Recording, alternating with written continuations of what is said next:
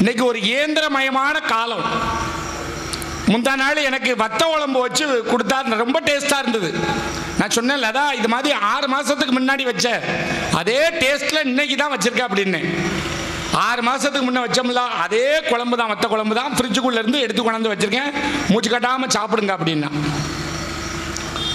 ஆனால் உண்மையிலே மல்லிகைப்பூ போல மென்மையான இட்லி அந்த கடையில் கிடைக்கிது. அழகாக சாப்பாடு வே- பண்ணி வாங்க. மேடைக்கு போகலாம். ஒன்பது மணிக்குள்ளே தொடங்கணும்னு சொல்லி விரைவுபடுத்தி எங்களை அழைத்து வந்து மேடையிலே அமரச் செய்து அழகு பார்த்து கொண்டிருக்கிற என்னுடைய அன்பு அண்ணன் திருவாளர் கலையரசன் அவர்களுக்கும் என்னுடைய அன்பு அண்ணன் திருவாளர் உதயசூரியன் அவர்களுக்கும் நான் மிகுந்த நன்றி கடன் பட்டிருக்கிறேன். இந்த அருமையான நிகழ்விலே நாவாட வருகை தந்திருக்கிற அற்புதமான நாவலர்களே கோவில் அர்ச்சகர்களே விழாக்குழுவை சேர்ந்த அனைத்து சமுதாயத்தைச் சேர்ந்த பெருமக்களே இந்த அருமையான பட்டிமன்றத்தை கண்டு கேட்டு ரசிப்பதற்காக வருகை தந்திருக்கின்ற காலத்தால் கோலத்தால் சீலத்தால் மூத்த பெரியவர்களே பால் நினைந்து ஊட்டக்கூடிய பரிவுள்ள தாய்மார்களே எதிர்கால இந்தியாவினுடைய வரலாற்றை தீர்மானிக்கக்கூடிய வாலிப சகோதர சகோதரிகளே என் நெஞ்சுக்கு நெருக்கமான பிஞ்சு குழந்தைகளே பிள்ளை நிலாக்களே உங்கள் எல்லோரையும் என்னுடைய தலையால் வணங்குகிறேன். என்னுடைய தமிழால் ஆராதனை செய்கிறேன். சொன்ன உடனே என் தங்கச்சி மாதிரி அழகாக கை தட்டுறீங்க. இப்படி கை தட்டுறதுக்கு ஒரு மனசு வேணும். சில ஊரில் தட்ட மாட்டான் இன்னைக்கு நாமக்கல்ல ஒரு பட்டிமன்றம் ஒன்னே கால் மணி நேரம் பேசினா ஒருத்தனும் கை தட்டலை. இன்னைக்கு எவ்வளவு அழகா ஒலிபெருக்கி பாருங்க. நம்முடைய பிரவீன் ராகுல் ஒலிபெருக்கி. பூலாங்குளம். அதனுடைய உரிமையாளர் என்னுடைய வாத்தியார். நான் மாதாப்பட்டினத்தில் சர்க்குண சத்திய வித்யாலயா மேல்நிலை பள்ளியில் படித்தேன் எனக்கு பாடம் சொல்லிக் கொடுத்த ஆசிரியர் தான் அதோடைய உரிமையாளர். அற்புதமாக அதை இயக்கி கொண்டிருக்கின்ற அற்புதமான தொழில்நுட்ப கலைஞர் மிக நல்ல முறையில் இந்த பட்டிமன்றத்தை ஒளிப்பதிவு செய்து கொண்டிருக்கிற ஒளிப்பட கலைஞர். எல்லாருக்கும் வணக்கம் சொல்லி இந்த நல்ல நிகழ்வுக்கு அனுமதி அளித்து இந்த நிகழ்வை பாதுகாத்து பரிபாலனம் செய்யக்கூடிய காவல்துறை உயர் அதிகாரிகளுக்கும் காவல்துறையை சேர்ந்த அத்தனை பெருமக்களுக்கும் என்னுடைய நன்றியை சொல்லி நல்ல தலைப்பில் இன்னைக்கு பட்டிமன்றம். நீங்கள் கைதட்டினீங்க பாருங்கள் அப்படி கைதட்டணும் அப்படி கைதட்டினா தான் நிகழ்ச்சி நல்லா இருக்கும். அன்னைக்கு நாமக்கல்ல ஒன்றே கால் மணி நேரம் பேசு ஒருத்தனும் கைதட்டலை ஆம்பளைங்கெல்லாம் அப்படி கஞ்சா அடித்தவங்க மாதிரி கவுந்து போய் கிடக்காங்க. பொம்பளைகளெல்லாம் பார்த்தா அந்த கருவாப்பையில எங்கேருந்துடா கூட்டு வந்தாங்க? இவனுக்கெல்லாம் காசு கொடுக்கறதே அதிகம் கைதட்டணுமான்னு வைராக்கியமாக உட்காந்துருக்காங்க ஒருத்தரும் கைதட்டலை எல்லாரையும் சிரிக்க வைக்கணும் நல்லா கைதட்டு வாங்கணும்னு ஏகப்பட்ட நகைச்சுவைகளை அள்ளி விட்டேன். கூட்டத்தில் இருந்து ஒரு தங்கச்சி கெக்க கெக்கன்னு சிரிச்சிட்டா. எனக்கு சந்தோஷமா இருந்தது. ஏ என் தங்கம் வாயெல்லாம் பல்லு வரப்பெல்லாம் நெல் என்ன அழகா சிரிக்கா அப்படின்னு சந்தோஷப்பட்டுக்கிட்டு இருக்கேன். பக்கத்தில் இருந்த ஒரு கிழவி அந்த பிள்ளைய மண்டையில் கொட்டி என்னத்துக்கிட்டி சிரிச்சுக்கிட்டு கிடக்க? வெக்கம் இல்லை உனக்கு? ஒரு வயசுக்கு வந்த பிள்ளை இப்படியா சிரிப்பாவோ? வாயை இழுத்து வச்சு தச்சப்படுவான். ஆமாம் நீ பேசு தம்பி ஒருத்தையும் சிரிக்க விடாம நான் பார்த்துக்கிட்டேன் அப்படிங்க. நம்ம நாலு பேரை சிரிக்க வைக்க பேசினா ஒருத்தரையும் சிரிக்க விடாமல் பார்த்துக்கிடுவானா ஆனால் அருமையான மக்களுங்க. சில ஊர்களெல்லாம் நாங்கள் பட்டிமன்றம் போய் கேட்போம். எவ்வளவு நேரம் பேசணும் அப்படின்னு. அவங்க சொல்லுவாங்க நீங்கள் எவ்வளோ நேரம் வேணாலும் பேசுங்க. நாங்கள் ஒரு அரை மணி நேரம் தான் இருப்போம் அப்படிம்பாங்க. ஆனால் இங்கே அப்படி இல்லை. ஒன்பது மணிக்கு தொடங்கணும். பன்னிரெண்டு மணிக்கு நிறைவு செய்யணும். நல்ல நகைச்சுவையாக நல்ல சிந்தனை கருத்துக்களை கொண்டு பேசணும் அப்படின்னு சொல்லி அண்ணன் கலையரசனும் உதயசூரியனும் என்கிட்ட சொல்லியிருக்காங்க. ஒரு சாக்கில் நம்ம நெல் அள்ளி போடுதோம் அப்படின்னா அந்த சாக்கை கொஞ்சம் குலுக்கி விட்டோம்னா கூட கொஞ்சம் நெல் பிடிக்கும். அது மாதிரி நல்ல கருத்துக்களை சொல்லும்போது கொஞ்சம் நகைச்சுவை இருந்தால் அந்த பட்டிமன்றம் நல்லா இருக்கும். நீங்கள் செய்ய வேண்டியதெல்லாம் நல்லா கேட்கணும் நல்லா ரசிக்கணும் தூங்கிடக்கூடாது நான் வாத்தியார் வேலை பார்க்கேன். அன்னைக்கு பாடம் நடத்திக்கிட்டு இருக்கேன். ஒரு பையன் முத பஞ்சில் படுத்து உறங்குதான். பக்கத்தில் இருக்கவன அவனை எழுப்புடா அப்படின்னேன். நீர் உறங்க வைக்கணும் நான் எழுப்பணுமோ அப்படின்னா அப்புறம் நானே எழுப்பி அந்த கடைசி பெஞ்சில் போய் படுறேன்னா அங்கே படுத்தா தூக்கம் வராது சார் அப்படின்னா. ஏன்டா அப்படி சொல்லுதண்ணே இங்கே தான் சார் உங்கள் சத்தம் கேட்டு நல்லா தூக்கம் வருது அப்படிங்க. அதில் ஒருத்தன் சொன்னான் பாருங்க ஒரு தாய் தாலாட்டு பாடுனா ஒரு பிள்ளை தான் சார் தூங்கும். நீங்கள் பாடம் நடத்தினா வகுப்பில் நாற்பது பேர் தூங்குதான். நீங்கள் நாற்பது தாய்க்கு சிரமம்னா. இன்றைக்கெல்லாம் பள்ளிக்கூடத்தில் பயலோட்டு பேச முடியல. அன்னைக்கு எடா படிச்சுட்டு வாங்கடா நாளைக்கு கேள்வி கேட்பேன் அப்படின்னு. ஒரு பையன் உங்களுக்கு எவ்வளோ சார் சம்பளம்? அப்படின்னா நான் சொன்னேன் எனக்கு ஒரு 50000 ரூபா சம்பளம் அப்படின்னு. கேள்வி கேட்க உங்களுக்கு 50000 ரூபா சம்பளம்? நாங்கள் ராத்திரி பூரா கண்ணு முழிச்சு படிச்சுட்டு வந்து பதில் சொல்லுவோம் நீங்கள் ஒரு 5000 ரூபாயாவது கொடுக்க கொடுக்கலாம் சார் அப்படின்னா. பயலோட சமாளிக்க முடியாது. என் கிளாஸுக்கு பக்கத்து கிளாஸில் ஒரு டீச்சர் பாடம் நடத்திட்டு ஏதாவது சந்தேகம் இருந்தால் கேளுங்கடா அப்படின்ட்டுருக்கு இருக்கு ஒரு பையன் எந்திரிச்சு டீச்சர் உங்களுக்கு கல்யாணம் ஆயிட்டா டீச்சர் அப்படின்னு கேட்டிருக்கான். இல்லை பாடத்தில் சந்தேகம் கேட்க சொன்னால் கல்யாணம் ஆயிட்டான்னு கேட்க எதுக்குல? இல்லை எங்கள் அண்ணனுக்கு கல்யாணம் முடியல டீச்சர். உங்களை கட்டி வச்சா ஃப்ரீயாக டியூஷன் படிச்சுக்கலாம். அதான் ஒரு ஏற்பாடு பண்ணுறேன் அப்படிங்க. இந்த மாதிரி பயல்களெல்லாம் வச்சு சமாளிக்கும். ஆனால் நீங்கள் அந்த தொந்தரவு இல்லை. நல்ல பட்டங்கட்டியார் சமுதாயத்தைச் சேர்ந்த பெருமக்களும் அவர்கள் நடத்தக்கூடிய இந்த நிகழ்ச்சியை பார்க்கணும்னு வந்திருக்கக்கூடிய பெருமக்களும் நல்ல கண்ணியமிக்க பெருமக்கள். உங்களை பார்த்தாலே தெரியுது. அழகா உட்கார்ந்து நல்லா ரசிக்கிறீங்க நல்லா கேட்குறீங்க சந்தோஷமா இருக்கு. அதனால அருமையான தலைப்பில் இன்னைக்கு பட்டிமன்றம். வீடுகளில் தாய்மார்கள் சமையல் பண்ணி பரிமாறும்போது சாப்பிடுறவங்க நல்லா ரசித்து ருசித்து சாப்பிட்டா அந்த சோறு பொங்கி பரிமாறுறவளுக்கு சந்தோஷமாக இருக்கும். இன்னும் நல்ல வித விதமாக நவநவமாக ஆக்கி போடணும்னு அவளுக்கு தோணும். சில பேர் சோறு திங்கிறத பார்த்தீங்கன்னா இந்த கொத்தனார் சாந்த குழச்சி செவுத்தில் அடிக்க மாதிரியே சோத்தை குழைச்சி வயிற்றில் அடிப்பான். அப்போ அவனுக்கு சோறு பொங்கி போடுறத அவன் நினைப்பான். இந்த நாய்க்கு ரசம் வச்சு கொடுக்கறதும் ஒன்று தான் வேஷம் வச்சு கொடுக்கறதும் ஒன்று தான் நினப்பான். அப்போ ஒரு சாப்பிடக்கூடியவன் ருசித்து சாப்பிட்டா சமையல் பண்ணுறவா நல்லா டேஸ்ட்டாக பண்ணுவான். அது மாதிரி கேட்குறவங்க நல்லா கேட்டால் இவங்க நல்லா பேசுவாங்க. நான் இப்போ தலைப்பை பற்றி எதுவுமே சொல்ல போகிறதில்ல இவங்க பேசின பிறகு நான் தீர்ப்பு சொல்லுவேன். ஏன்னா முதல்ல நான் இப்போ மாமியாருக்கு ஆதரவாக பேசிட்டேன் மருமகளுக்கு ஆதரவாக பேசிட்டோம்னா அது நல்லா இருக்காது. நடுவர் ஒரு பக்கமாக சாஞ்சிருதான். எப்போவுமே இப்படி தான் அப்படின்னு சொல்லி யாராவது பேசிடுவாங்க இப்போ இவங்க பக்கம் கூட்டு குடும்பத்தில் குழப்பத்துக்கு காரணம் மருமகள் தான். அப்படிங்கிற மாதிரி நான் பேசிக்கிட்டு இருந்தோம்னு வைங்க இவங்க என்ன நினைப்பாங்க? என்னதான் இருந்தாலும் Jayaraj All India Radio Jayaraj இவருக்கு சொந்தக்காரரு. அதனால மச்சினங்கனால அவர் பக்கமாக சாஞ்சி பேசுறாரு அப்படின்னு இவங்க சொல்லுவாங்க. இந்த பக்கமாக மாமியா தான் குழப்பத்துக்கு அதிகமாக காரணமாக இருக்காங்கிற மாதிரி நான் பேசிட்டோம்னா என் மாப்பிள்ளை சொல்லுவார் என்னதான் இருந்தாலும் இந்த ஆளுக்கு கொஞ்சம் சபல புத்தி உண்டு. எப்போவுமே பொம்பளைங்க பக்கம் சாஞ்சிருவார் இவர். அப்படின்னு சொல்லி இவர் ஏதாவது சொல்லிடுவார் அதனால் ரெண்டு பக்கமும் இப்போ நான் பேசாமல் பொதுவான சில விஷயங்களை நம்ம பேசிட்டு பட்டிமன்றத்தை நம்ம தொடங்கிடலாம். நீங்கள் என்ன செய்யணும்? நான் போய் சொன்ன மாதிரி நல்லா கேட்கணும் நல்லா ரசிக்கணும் நல்லா கைதட்டணும் நகைச்சுவைங்கிறது ஒரு பெரிய மருந்து. இல்லையா இன்னைக்கு நம்ம உடம்ப குறைக்கிறதுக்காக வாக்கிங் போகிறோம்ல ஒரு காலத்தில் வயிறை நிறைக்கிறதுக்காக ஓடி ஓடி உழைச்சோம். இப்போ வயிறை குறைக்கிறதுக்காக ஓடி ஓடி நம்ம வாக்கிங் போய்கிட்டு இருக்கோம். உண்டா இல்லையா? நாயா அலைஞ்சா அவன் ஏழை. நாயோடு அலைஞ்சு வாக்கிங் போகிறான் பாருங்க அவன் தான் பணக்காரன். ஒரு காலத்தில் சாப்பிட்ட உடனே வெத்தலை பாக்கு கொடுத்து போடுங்கம்பான். இன்னைக்கு சாப்பிட்ட உடனே மாத்திரை கொடுத்து போடுங்கன்னா ஏன்னா அவன் மாத்திரை சாப்பிட்டா தான் அடுத்த சாப்பாட்டுக்கு உயிரோடு இருப்பான். அவ்வளோ ஒரு நிலைமையில் இன்னைக்கு நம்ம போய்கிட்டு இருக்கோம். இப்படிப்பட்ட ஒரு கால சூழ்நிலையில் நகைச்சுவை என்பது ஒரு மா மருந்து. நல்ல வாய் விட்டு சிரிச்சா நோய் விட்டு போகும். தாய்மார்கள்லாம் கொஞ்சம் கவனிங்கம்மா. எம்மா ஆமாம் பேசாமல் இருந்து கவனிக்கணும். நல்ல சிரிக்கிறவங்களுக்கு ப்ரெஷர் வராது சுகர் வராது கேன்சர் வராது. நோயே இருக்காது. இந்த உலகத்திலேயே ரொம்ப கொடுத்து வச்சவன் யார் தெரியுமா? கவலை இல்லாமல் இருக்கவன் தாங்க கொடுத்து வச்சவன். இந்த உலகத்தில் ஒன்று மட்டும் தெரிஞ்சுக்கிடுங்க நம்ம கவலைப்படுறதுக்காக பிறக்கலை. வாழ்க்கை என்பது கொஞ்ச காலம்தான். அந்த காலத்தில் நமக்கு இறைவன் என்ன கொடுத்துருக்கானோ அதை வச்சு சந்தோஷப்படணும். இப்போ எனக்கு மனைவி ஒல்லியாக இருப்பா. உடனே இன்னொரு பொண்ணு நல்லா குண்டு குண்டு குஷ்பு கணக்காக இருப்பா. அவளை பார்த்த உடனே சார் இந்த பிள்ளை எப்படி இருக்கா? திமு திமு திமு திமுன்னு இருக்காளையா? இப்படி பொண்ணு இருந்தா எப்படி இருக்கும்? எனக்கு வாரிய குச்சி கணக்கா இருக்காளே இவளை இறுக்கி பிடிச்சா ஒடிஞ்சிருவா போலுக்க அப்படின்னு நான் நினைக்கப்படாது. அதே மாதிரி சித்ராவுடைய கணவர் இந்த அம்மா மண்ணெண்ணெய் பேரல் கணக்கா இருக்குதே. நல்லாவா இருக்கு? இதே ஒரு ஒல்லியா சிக்கனு சிம்மரன் கணக்கா பொண்ணு இருந்தா எப்படி இருக்கும்னு இந்த அம்மாவுடைய கணவர் நினைக்கப்படாது. அவரவருக்கு என்ன மனைவி என்ன மக்கள் என்ன வீடு என்ன வாகனம் இறைவன் என்ன கொடுத்துருக்கானோ அதை வச்சு திருப்தி அடையணும். நான் கொடுத்திருக்க வேட்டி நான் போட்டிருக்க சட்டை நல்லா இருக்குங்கிற உணர்வு நமக்கு வந்தாதான் ஒரு தன்னம்பிக்கை நமக்குள்ளே இருக்கும்.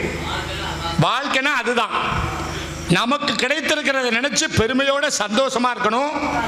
நல்ல மன நிம்மதியா இருக்கிறதுக்கு தான் நம்ம கோயிலுக்கு வாரோம். முருகனை கும்பிட்டா நமக்கு எந்த பிரச்சனையும் வராது. வந்த வினையும் வருகின்ற வல்வினையும் கந்தன் என்று சொல்ல கலங்கிடும் செந்தில் நகர் சேவகா என்று திருநீர் அணிவோருக்கு மேவ வராது வினை.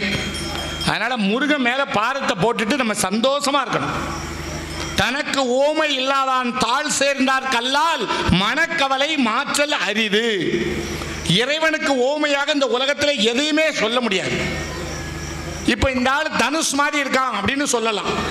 இந்த அம்மா குஷ்பு மாதிரி இருக்கு அப்படின்னு சொல்லலாம். அந்த பொண்ணு கீர்த்தி சுரேஷ் மாதிரி இருக்கு அப்படின்னு நம்ம சொல்லலாம். ஆனால் இறைவன் எப்படி இருப்பான் அப்படின்னு சொல்ல முடியாது. வானாகி மண்ணாகி வலியாகி ஒளியாகி ஊனாகி உயிராகி உண்மையுமாய் இன்மையுமாய். அவன் எப்படி இருக்காமனே சொல்ல முடியாது. இல்லையா? நிலம் நீர் நெருப்பு காற்று ஆகாயம் எல்லாம் இறைவனுடைய படைப்பு. எல்லா வடிவத்திலையும் இறைவன் இருக்கான். இல்லையா? அதனால இறைவன் நமக்கு கொடுத்த வாழ்க்கையை நம்ம நிம்மதியாக வாழணும். இறைவனை வணங்கி அவனுக்கு நன்றி சொல்லணும். இல்லையா? நமக்கு காலில் செருப்பு இல்லையேன்னு பார்க்கக்கூடாது காலே இல்லாதவனும் இருக்கான். இல்லையா? நமக்கு மோட்டர் பைக் இல்லையேன்னு வருத்தப்படக்கூடாது. சைக்கிள் இல்லாதவன் இருக்கான்ல. நம்மகிட்ட கார் இல்லையேன்னு வருத்தப்படக்கூடாது. மோட்டர் பைக் இல்லாதவன் இருக்கான்ல. அப்படி நினச்சி இறைவன் நமக்கு கொடுத்த வாழ்க்கையை நம்ம சந்தோஷமாக வாழணும். இது மாதிரி இடத்துக்கு வந்தால் நல்லா சிரிக்கணும். பட்டிமன்றத்துக்கெல்லாம் வந்தால் நல்ல சிரிக்கவங்கிட்ட உட்காரணும். நரசிம்மராவுக்கு பங்காளி கணக்காக இருப்பான் அவங்ககிட்ட உட்காரப்படாது. அவனும் சிரிக்க மாட்டான் நம்மளையும் சிரிக்க விட மாட்டான். பட்டிமன்றம் போனால் கேட்கவங்கிட்ட உட்காரணும் பள்ளிக்கூடம் போனால் படிக்கவங்கிட்ட உட்காரணும் பந்திக்கு போனால் நல்ல சாப்பிட்றவங்கிட்ட உட்காரணும். சில பேர் பந்தியில் உட்காந்து ஏய் சாம்பாரை கொண்டாடா ஏய் ரசம் வா அப்படிமா பாயாசத்தை ஊத்துப்பா. அவங்ககிட்ட உட்காருங்க. நம்ம எதுவுமே கேட்காம நமக்கு எல்லாமே கிடைக்கும். அப்படி அப்படி ஆளுகிட்ட இப்போ சித்ரா எல்லாம் உட்காந்து நல்லா சாப்பிடலாம். இவன் சுகர் பேஷண்ட்டு இப்படி காணும் சோர்த்திம்பான் இவன் கூட உட்காந்தோம்னு இங்கே நமக்கு வாயு நிறையாது வயிறு நிறையாது உட்காந்து அடுத்த செகண்ட் எந்திரிச்சு போயிடுவான். சும்மா ஒரு ஃபார்மாலிட்டிக்கு உட்காந்து கொஞ்சோண்டு சோத்தள்ளி வாயில் வச்சுட்டு நான் போயிட்டு வரேன்னு கிளம்புவோம் அப்படி உட்காரப்படாது இந்த அம்மா கூட உட்காந்தீங்கன்னா இது எந்திரிக்கிறதுக்கு ஒரு மணி நேரம் ஆகும். நல்ல இலையை போட்டு ஜம்முன்னு தண்ணியை ஊற்றி அதை கழுவி சோத்தை தட்டி நல்லா தொட்டு கணக்காக பிடிச்சி சாம்பாரை ஊற்றி குழச்சி அடிக்கும். நல்ல நிம்மதியாக சாப்பிடலாம். அப்போ ஒரு பந்துக்கு போனால் யார்கிட்ட உட்காரணும்? சாப்பிடுறவங்கிட்ட உட்காரணும் பள்ளிக்கூடம் போனால் படிக்கவங்கிட்ட உட்காரணும் பட்டிமன்றம் போனால் கேட்கவங்கிட்ட உட்காரணும். பஸ்ஸில் போனால் மூணு பேர் உட்கார்ந்துருக்க சீட்டில் இந்த புதுசாக கல்யாணம் முடிஞ்ச புருஷன் முண்டாட்டி உட்கார்ந்துருந்தா அவகிட்ட நம்ம உட்காரணும். ஏன் தெரியுமா? பஸ் போகும்போது அவங்க ரெண்டு பேரும் நெருங்கி உட்காருவாங்க. நமக்கு உட்கார இடம் கிடைக்கும். அதுக்காக சொன்னேன். அப்போ ஒரு பஸ்ஸில் போனால் யாருக்கிட்ட உட்காரணும்? ஒரு கணக்கு இருக்கு. இல்லையா? எங்கே உட்காரக்கூடாதுன்னு கணக்கு இருக்கு. ஹோட்டலில் போய் சாப்பிடும்போது கை கழுவுத வாஷ் பேஷன் கிட்ட உட்காரப்படாது. சில பேர் கையை கழுவான் சில பேர் வாயை கழுவான் சில பேர் உள்ள இருக்க குடலை வெளியெடுத்து கழுவிட்டு இருப்பான். அங்கே உட்காரப்படாது. சினிமாவுக்கு போனால் ஏற்கனவே படம் பார்த்தவங்கிட்ட உட்காரப்படாது. கதை சொல்லுவான். இந்த கும்கின்னு ஒரு படம் இரநூறுவா கொடுத்து டிக்கெட் வாங்கி நான் போய் உட்காந்துருக்கேன் என்கிட்ட ஒருத்தன் உட்காந்துக்கிட்டு இந்த படம் போட்டு யானை வந்த உடனே சொல்லிட்டான் அந்த யானை செத்து போயிடும் அப்படின்ட்டான். நானும் யானை எப்போ ஜாவும்னு தான் பார்த்தனே தவிர படத்தை கவனிக்கலை. இது மாதிரி பண்ணிடுவானுவோ அந்த மாதிரி இடத்துல உட்காரப்படாது. இந்த நல்ல சிரிக்கக்கூடிய தங்கச்சி மாதிரி நீங்கள் நோயற்ற வாழ்வு குறைவற்ற செல்வத்தை பெற்று ஆயுள் ஆரோக்கியம் ஐஸ்வர்யமாக வாழ்வீங்க. உண்மையிலே சொல்கிறேன் நல்ல சிரிக்காமனா அவனுக்கு ஆயுசு நூறு. சிரிக்கவே இல்லை பட்டு பட்டுன்னு முழிச்சுக்கிட்டு இருக்காமனா அவனுக்கு சரியில்லைன்னு அர்த்தம். அது நம்ம சொல்லக்கூடாது அதாவது ஒருத்தன் ஆரோக்கியமா இருந்தால் தான் சிரிப்பு வரும். தலைக்குள்ள ஆயிரம் பிரச்சனை ஓடிக்கிட்டு இருக்கவனுக்கு சிரிப்பு வராது. அவன் இங்க இருந்துக்கிட்டு வேற எதையாவது நினைப்பான். அங்க இருந்துக்கிட்டு இதை நினைப்பான். இப்படி இருக்கவே கூடாது. அது ஒரு மனநோய். நம்ம எங்க இருக்கிறோமோ அதை அழகா நினை அப்படி ரசிச்சு கேட்கணும். அப்படி கேட்டால் உங்களுக்கு ப்ரெஷர் வராது சுகர் வராது கேன்சர் வராது. ஆம்பளைகளுக்கெல்லாம் வழுக்க மண்டையில் முடி முளைக்கும். பொம்பளைகளுக்கெல்லாம் நாலடி கூந்தல் ஆறடி நீளத்துக்கு வளரும். அங்கே ஒரு அக்கா இழுத்து பார்க்க உடனே வளராது. உடனேவா வளர்ந்துரும். அது கொஞ்சம் நேரம் ஆகும். நீங்கள் பட்டிமன்றம் முடியுத வர நல்லா கை தட்டி ரசிச்சேன்னா வளரும். அதனால் நோயற்ற வாழ்க்கையை பெற்று நல்லா சந்தோஷமாக இருக்கணும் அப்படின்னா அழகான தலைப்பு கூட்டு குடும்பத்தில் குழப்பத்துக்கு காரணம் மாமியாரா மருமகளா அப்படிங்கிற தலைப்பில் அழகான ஒரு பட்டிமன்றம். மாமியாங்கவா யார் அப்படின்னா இந்த புருஷனை வளர்த்து ஆளாக்கி அவனை பெற்று வளர்த்து ஆளாக்கி அவனை படிக்க வச்சு பதவி வாங்கி கொடுத்து எல்லாம் பண்ணவோ அவ தான். மரத்தை வச்சு வளர்த்து விட்டுட்டாவா ஆனால் அதை ப- அதில் வர வரக்கூடிய கனியை பறித்து திங்க வந்தவா யாரு? மருமவா. அதுக்காக கனியை பறிக்காம விட்டுட்டா அது வம்பால போகும். வீணாக்கள் தரையில் விழுந்து வீணா போயிடும் அப்போ மருமகளுடைய பங்கு எப்படி இருக்கு? மாமியாரோட பண்பு பம்- பண்பு எப்படி இருக்குன்னு பார்க்கணும். இப்போ என்ன எனக்கெல்லாம் கல்யாணம் முடிஞ்சதே பெரிய கதை. உங்ககிட்ட சொல்லாம வேற யார்கிட்ட சொல்லுவேன்?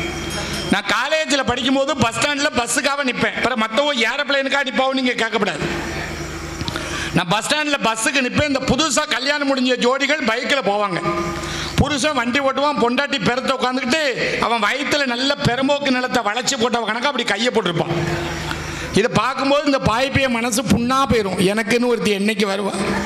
என் வண்டியில் பின்னாடி உட்காந்துக்கிட்டு என் தொந்தியில் கையை வச்சுக்கிட்டு என்னைக்கு வருவா? அப்படின்னு ஆசைப்பட்டு தான் நான் கல்யாணமே முடித்தேன் கல்யாணம் முடித்து ஒரு நாலு நாள் கழித்து என் வீட்டுக்காரியை கூட்டிகிட்டு கோயிலுக்கு போகணும்னு கிளம்புனேன். எங்கள் அம்மா என்னை பெற்ற தாய் என்னை கூப்பிட்டா இலங்க வா. பொண்டாட்டியை கூட்டிகிட்டு கோயிலுக்கு போகிறேன் ஒரு நாலு முழம் பூ வாங்கி கொடு. அவள் தலை நிறையா வச்சுக்கிடட்டும். ரெண்டு பேரும் சந்தோஷமாக போய் சாமி கும்பிட்டுட்டு வாங்கடான்னு சொன்னான். சரிம்மான்னு எங்கள் அம்மாட்ட சொல்லிவிட்டு என் வீட்டுக்காரியை வண்டியில் ஏற்றிட்டு வாசலை விட்டு கிளம்பி தெருவுக்கு தான் போயிருக்கேன். என்னைக்கு அவள் களத்தில் தாலியை கட்டணும் அன்றைக்கி நான் தெருவுக்கு போயிட்டேன். அது வேறு கதை. பின்னாடி இருந்து கேட்டால் உங்கள் அம்மா என்ன சொன்னா அப்படின்னா ஒன்றைய பற்றி ஒன்றும் சொல்லலடி. பூ வாங்கி கொடுத்துட்டு சொல்லணும்னு நினைக்க அவள் பொறுக்க மாட்டுக்கா. ஒரு கிலோமீட்டர் போயிருப்பேன் பின்னாடி இருந்து என் கிட்டப்பை பிடிச்சி நறுக்குன்னு ஒரு கிள்ளு கிள்ளிட்டு உங்கள் அம்மா என்ன சொன்னான்னு சொல்லிட்டு வண்டியை ஓட்டுன்னா. ஏடி ஒன்றைய பற்றி ஒன்றும் சொல்லலைன்னு சொல்லுதுன்னு ஏண்டி இந்த பிடுங்க பிடுங்குதுன்னு பிறத்த திரும்பின ரோட்டை கவனிக்கலை. ரோட்டில் ஒரு பள்ளம் கிடந்திருக்கு பள்ளத்தில் கொண்டு வண்டியை விட்டு நான் கீழே கிடக்கேன் எனக்கு மேலே வண்டி கிடக்கு வண்டிக்கு மேலே என் பொண்டாட்டி கிடக்கா. எனக்கு நெத்தியில இருந்து குபு குபுன்னு ரத்தம் வருது. நான் என்ன நினச்சா அவ பதறி துடிச்சு ஓடியாருவா. ஐயோ என்ன கரம்பிடித்த காதலா உங்களுக்கு இந்த நிலைமையா? கல்யாணம் முடிஞ்சு நாளே நாளையில இப்படி ரத்த குறையில கிடைக்கலேன்னு ஓடி வருவா. என் நெத்தியில இருந்து வழியுத ரத்தத்தை பொத்துவா. முந்தி சேலையை கிழிச்சு கெட்டு போடுவான்னு நினைச்சு மல்லாக்க கிடக்கேன். ஏ சண்டாளி தண்டக்கா மண்டக்கான்னு எந்திரிச்சு வந்து கேட்கா இப்போ மாதிரி சொல்லி தொலைவே. உங்க ஆத்தாக்காரி என்ன சொன்னா? சொல்லி தொலைங்க. கீழே கிடந்து நெத்தியில் ரத்தம் அடித்த நேரத்தில் கூட உங்கள் ஆத்தாக்காரி என்ன சொன்னா சொல்லி தொலை அப்படின்னு என்னை பெற்ற தாயை எதிரியான்னு நினைக்காள இல்லையா? அம்மா அங்கவா எப்பேற்பட்டவா தெரியுமா? ஒரு வீட்டில் சாம்பார் நல்லா இருந்தால் அப்பா நல்லா சாப்பிடுவார். வீட்டில் மோர் குழம்பு நல்லா இருந்தால் வீட்டில் உள்ள பெருசுக நல்லா சாப்பிடும். வீட்டில் நல்லா அந்த அப்பளம் வத்தல் வடாகம்னு பொறிச்சு வச்சா பிள்ளைகள் நல்லா சாப்பிடும். ஆனால் ஒரு தாய் எப்போ சாப்பிடுவா தெரியுமா? மிச்சம் இருந்தால் தான் சாப்பிடுவா. பந்தி வச்ச வீட்டுக்குள்ளே பாத்திரத்தை கழுவிட்டு பட்டினியாக கிடக்கிறவா தான் தாய். அதான் சொன்னான். பட்டினியா கிடந்தாலும் பிள்ளைக்கு பால் கொடுப்பா. பட்டினியா கிடந்தாலும் பிள்ளைக்கு பால் கொடுப்பா. பால் குடிச்ச பிள்ளை முகம் பார்த்தே பசி மறப்பா பால் குடிச்ச பிள்ளை முகம் பார்த்தே பசி மரப்பா நெஞ்சிலே நடக்க வைப்பா நிலாவை பிடிக்க வைப்பா. நெஞ்சிலே நடக்க வைப்பா நிலாவை பிடிக்க வைப்பா. பிஞ்சு விரலில் நகங்கடிப்பா. பேச சொல்லி சிரிச்சிருப்பா. பிஞ்சி விரலில் நகங்கடிப்பா பேச சொல்லி சிரிச்சிருப்பா. உனக்கும் எனக்கும் அம்மா ஒருத்தி தானடா. தெய்வம் உலகத்தில் இருக்குதுன்னா தாயிடா. ஆயிரம் உறவு உன்னை தேடி வந்தே நின்னாலும் தாய் போல தாங்க முடியுமா? ஆசைப்பட்ட எல்லாத்தையும் காசு இருந்தா வாங்கலாம். அம்மாவை வாங்க முடியுமா? நீயும் அம்மாவை வாங்க முடியுமா? அம்மான்னு ஏன் பேர் வச்சான் தெரியுமா? ஆனாங்கிறது உயிர் எழுத்து இம்மன்னாங்கிறது மெய்யெழுத்து. மாவன்னாங்கிறது உயிர்மை எழுத்து. அம்மாங்கிறவ நம்ம அப்பாட்ட இருந்து உயிரணுவை வாங்கி அவ உடம்புல வச்சு வளர்க்கா. மெய்யினா உடல். இந்த இம்முங்கிறது என்னது? உடல். பதினெட்டு மெய்யெழுத்து. அது உடல் மாதிரி மொழிக்கு. ஆனாவிலிருந்து அவ்வண்ணா வரைக்கும் உள்ள பன்னெண்டு உயிர் எழுத்து. இந்த உயிரும் மெய்யும் சேர்ந்து உயிர்மை எழுத்து பிறக்கும். அது மாதிரி இந்த உயிரினமும் அம்மாவும் சேர்ந்து தான் என்ன செய்கிறாங்க நம்ம பிள்ளையை பெற்றெடுக்காங்க.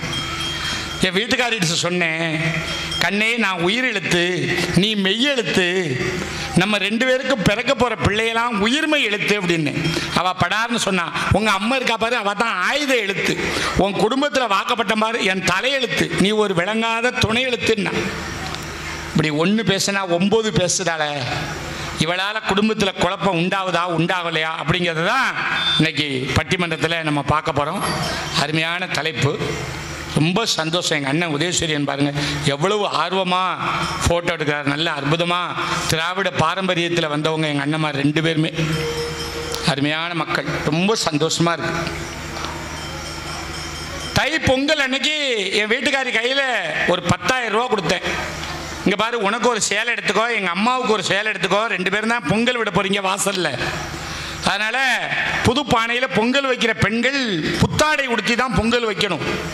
உனக்கு ஒரு சேலை எங்கள் அம்மாவுக்கு ஒரு சேலை எடுத்துக்கோடின்னு பத்தாயிரம் ரூபாய் கொடுத்தேன். என் வீட்டுக்காரி என்ன செஞ்சிருக்கா? ஒம்பதாயிரம் ரூபாய்க்கு ஒரு சேலையும் ஆயிரம் ரூபாய்க்கு ஒரு சேலையும் வாங்கியிருக்கா. வாங்கி இந்த ஒம்பதாயிரம் ரூபாய் சீட்டு ஒட்டி இருந்ததுல சேலையில் அதை கிழிச்சு இந்த ஆயிரம் ரூபாய் சேலையில் ஒட்டிட்டான். ஆயிரம் ரூபாய் சேலையில் இருந்த பேப்பரை கிழிச்சு ஒம்பதாயிரம் ரூபாய் சேலையில் ஒட்டிட்டான். ஒட்டிட்டு எங்கள் அம்மாட்ட கொண்டு போய் கொடுத்துருக்கா. இந்தாங்க உங்கள் மகன் உங்களுக்கு தான் விலை கூடுன சேலையாக வாங்கணும். எங்கேயாவது கல்யாண வீடு கோயில் கொடைக்கெல்லாம் போனால் எங்கள் அம்மா விலை கூடுன சேலை கட்டணும் அப்படின்னு உங்கள் மகன் சொல்லியிருக்காவோ. இந்தாங்க உங்களுக்கு ஒம்பதாயிரம் ரூபாய்க்கு சேலை எனக்கு வெறும் ஆயிரம் ரூபாய்க்கு ஒரு சேலை அப்படின்னு இருக்கான். எங்கள் அம்மா எப்பேற்பட்டவா என்ன பெற்று வளர்த்தவா அவள் எவ்வளோ பெரிய வில்லியா இருப்பா? அவா சொல்லியிருக்கா ஏன் நான் வீட்டுக்குள்ளேயே கிடக்கவளுக்கு எனக்கு எதுக்கடி கும்பிட்டு விலை கூடுன சேலை? அவன் புத்தி கட்ட போய் உனக்கு புத்தி எங்கே போச்சு? நீ பள்ளிக்கூடத்தில் டீச்சர் வேலை பார்க்க நாலு இடத்துக்கு போக வருவேன் நீ தானடி விலை கூடின சேலை கட்டணும்? நீ நல்ல சேலை கட்டினா தானே என் மவனுக்கு பெருமை? நான் வீட்டில் கிடக்கவா என்ன சேலையை கட்டினா எனக்கு என்ன? கொண்டா அந்த சேலை ஏன்ட்ட இருக்கட்டும் இதை நீ வச்சுக்கன்னு கொடுத்துட்டான். எப்படி? கெடுவான் கேடு நினைப்பான் இல்லையா? தீதும் நன்றும் பிறர் தர வாரா. நமக்கு தீமை நம்ம தான் செய்யணும் வேற யாரும் செய்ய மாட்டான். அப்படி கூட்டு குடும்பத்தில் பலவிதமான குழப்பங்கள் இருக்கு. இந்த குழப்பத்துக்கு யார் காரணம்? மாமியாரா மருமகளா? மாமியார் தான் கூட்டு குடும்பத்தில் காரணம்னு பேசுறதுக்கு ஆல் இண்டியா ரேடியோவில் ஆமாம் இவங்க வந்து கூட்டு குடும்பத்தில் குழப்பத்துக்கு காரணம் மருமகள் தான் அப்படின்னு பேசுறதுக்கு ஆல் இண்டியா ரேடியோவில் வேலை பார்க்கக்கூடிய ஜெயராஜ் அவர்கள் அகில இந்திய வானொலி நிலையம் திருநெல்வேலி ரெயின்போ எஃப்எம்ல பண்பலையில் வேலை பார்க்குறாரு. நல்ல நடு பேசுவார். நகைச்சுவைனா ஆல்ரெடி ஜெயராஜை மிஞ்ச முடியாது யாருமே. எல்லாம் நகைச்சுவை அழகா பேசுவார். அன்னைக்கு என் கையை பிடிச்சிக்கிட்டு சொல்றார் உங்க கையில ஆயில் ரேகை ஆழமா இருக்கு. உங்களுக்கு ஆயுசு நூறு அப்படின்னாரு. நான் சொன்னேன் இது ஆயில் ரேகை இல்லை என் பொண்டாட்டி ஒரு நாள் அருவாமனையை கொண்டு கொத்துன ரேகை அப்படின்னு. ஆனாலும் அவர் விட மாட்டேக்காரு என் கையை பிடிச்சிக்கிட்டு உங்களுக்கு புதம் உச்சம் வியாழம் உச்சம் சுக்கரம் உச்சம் அப்படிங்கார் நான் சொன்னேன் ஒன்றும் மிச்சம் வர மாட்டேங்க அப்படின்னு.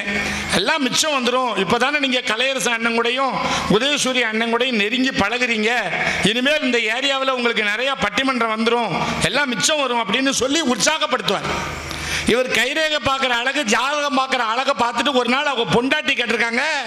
எல்லாத்துக்கும் கைரேகை பார்க்குறீங்க சோசியம் பார்க்குறீங்க குரு பயிற்சினா என்ன சனி பயிற்சினா என்னன்னு கேட்டிருக்காங்க. உடனே இவர் சொல்லியிருக்காரு ஒன்றும் இல்லாட்டி என் கூட சண்டை போட்டுட்டு உங்கள் அப்பா வீட்டுக்கு நீ போயிட்டேன்னா அது சனி பயிற்சி. வரும்போது கல்யாணம் முடியாமல் இருக்க உன் கடைசி தங்கச்சியை கூட்டிக்கிட்டு வந்தேன்னா அது குரு பயிற்சின்னு இருக்காரு. அதுக்கப்புறம் அந்த அம்மா இடப்பெயர்ச்சி அடைவதே இல்லை. வீட்டை விட்டு வெளியே போவாது. அப்படி பேசக்கூடியவர். அது மாதிரி அங்கே அவருக்கு பக்கபலமாக வந்திருக்கக்கூடிய தம்பி நம்முடைய ஜான்ஸ் கல்லூரியில் படிக்கக்கூடியவர் திண்டுக்கல் லியோனி கூட பட்டிமன்றத்தில் இப்போ சமீப காலமாக பேசிக்கிட்டு இருக்காரு. ஆடுதுறை அழகு பன்னீர்செல்வம் கூட பேசிக்கிட்டு இருக்காரு. ஒரு திரைப்படத்தில் நடிச்சிருக்காரு. அது என்ன படம் தம்பி? மூக்குத்தி அம்மன் அப்படிங்கிற படம் நயன்தாராவுக்கு ஜோடியாவா நடிச்சிருக்கிய? இல்ல. ஆ.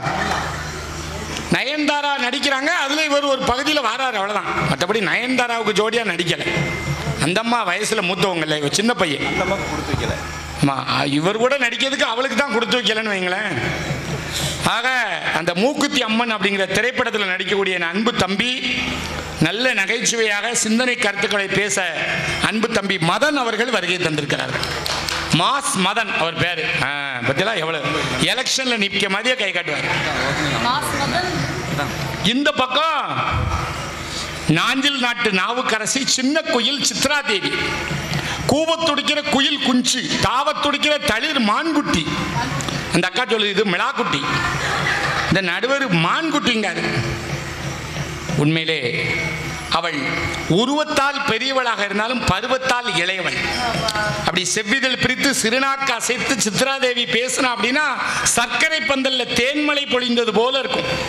அவ்வளவு அழகாக பேசக்கூடியவங்க கூட்டு குடும்பத்தில் குழப்பத்துக்கு காரணமே மாமியார் தான் அப்படின்னு அந்த அணிக்கு தலைமை ஏற்று அவங்க பேசுறாங்க. அந்த அணிக்கு அணி சேர்க்க என் தங்கை அருமை தங்கை கோமதி அவர்கள் தங்கப்பதக்கத்தின் மேலே ஒரு முத்து பதித்தது போலே. அந்த அணிக்கு அழகு சேர்ப்பதற்கு திருநெல்வேலி மாவட்ட ஆட்சித்தலைவர் அலுவலகத்தில் வருவாய் ஆய்வாளராக பணிபுரியக்கூடியவங்க revenue inspector TNPSC group two exam எழுதி பாஸ் பண்ணாங்க. இப்போ ஒரு தொண்ணூறு பேரும் எழுதினாங்க. அது மாதிரி கிடையாது. அவங்க நியாயமாக எழுதி வந்தவங்க. முன்னாடியே வந்துட்டாங்க வேலைக்கு. அதனால் நல்ல அருமையான அறிவாளி அவங்க நல்லா பேசுவாங்க. இவை எல்லாவற்றிற்கும் மேலாக நல்ல முறையில் இந்த நிகழ்ச்சியை வாங்கி உங்கள் காதுகளுக்கு கொண்டு வரக்கூடிய மூலம் பிரவீன் ராகுல் ஒலிபெருக்கி நிறுவனம் அருமையாக ஒளிப்பதிவு செய்யக்கூடிய என்னுடைய அன்பு தம்பி நல்ல நிகழ்வை கேட்கக்கூடிய உங்கள் எல்லாருக்கும் என்னுடைய வணக்கத்தை சொல்லி கூட்டு குடும்பத்தில் குழப்பத்துக்கு காரணம் கூட்டு குடும்பத்தில் குழப்பத்துக்கு காரணம் ஒரு பாட்டு படிச்சா இருந்துச்சு முருகமுடு. திருப்பரங்குன்றத்தில் பாடி பாடிக்காது கூட்டு குடும்பத்தில் குழப்பத்துக்கு காரணம் மாமியார் தான் என்று பேசுவதற்கு ஒரு மருமகள் வருகிறார்கள். வாங்க.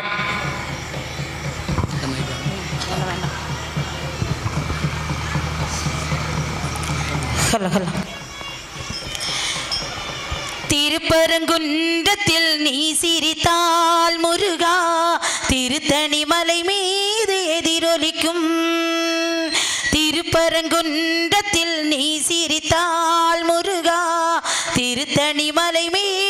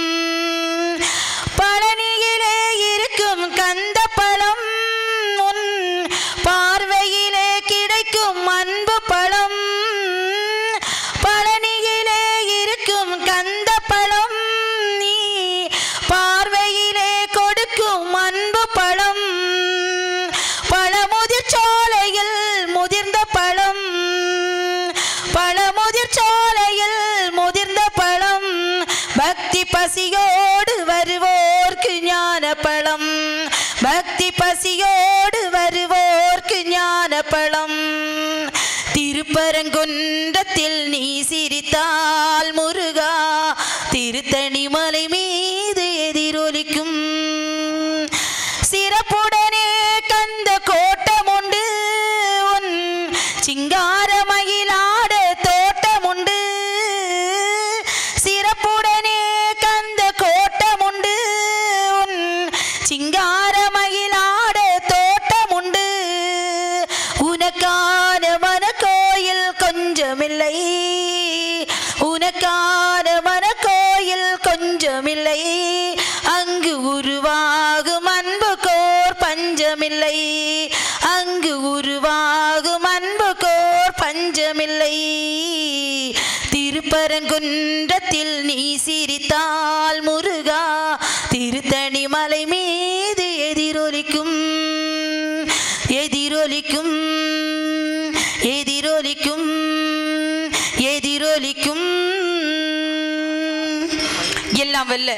இறையொருள் சிறப்பினை வேண்டி இந்த அருமையான நகைச்சுவை சிந்தனை சிரிப்பு பட்டிமன்றத்திற்கு மொழியின் விழிகள் திறந்து செந்தமிழில் அமிர்தம் கலந்து அதை மேடைகள் தோறும் பொழிந்து நல்ல மேதையாய் அமைந்திருக்கும் நடுவர் அவர்களே நடுவர் அவர்களே ஆ வணக்கம்மா வணக்கம்மா.